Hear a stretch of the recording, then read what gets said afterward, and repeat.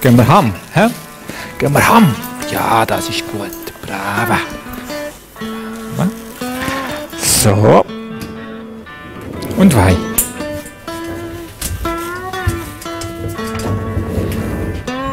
Und Wein. Und seine Wein. Das ist der Vidor, mein blinder Hund. Ich habe ihn seit fünf Jahren. Und äh, er führt mich da durch Bad Ragaz.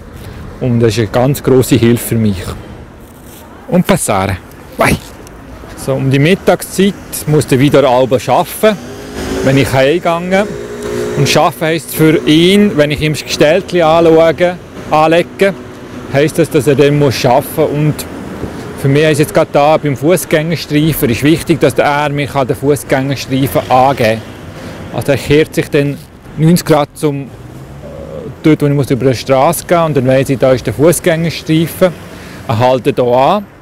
Er kann mir aber nicht sagen, wenn es Verkehr hat oder nicht, dann muss ich meine Ohren brauchen dafür. Und bevor ich wieder aufs Trottoir komme, haltet er wieder an, damit ich weiss, dass ich wieder das Bein lüpfen muss. Und vai casa, tempo. Brava.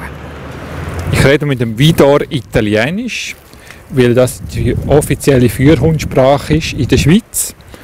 Wieso Italienisch? Italienisch hat einen Haufen Vokal und zweitens ist es wichtig, dass es eine andere Sprache ist, als die anderen Leute reden, damit niemand uns in den Weg kommt und etwas reinschwätzt. Komm bei, Tempo. Passare, komm bei, Tempo. Also ein scheinbar einfacher Weg ist für uns manchmal schon schwierig, weil dann hat es Baustellen und das ist sehr gut beim Vidor. Beim Stock wäre einfach reingelaufen und der Vidor haltet vorne dran an und gibt mir auch einen Ausweg, wo ich rundherum laufen kann. Brava. So, resta. Hallo. So.